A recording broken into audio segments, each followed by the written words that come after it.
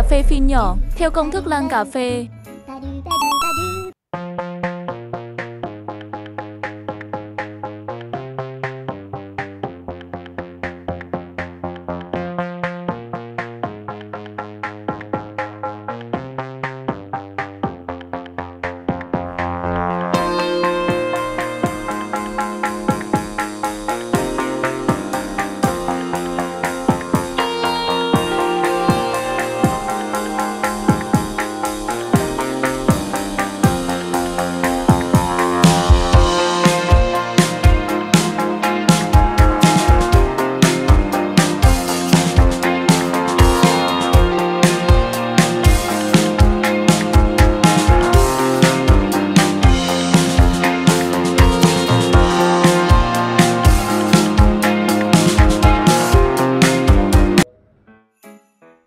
Hum.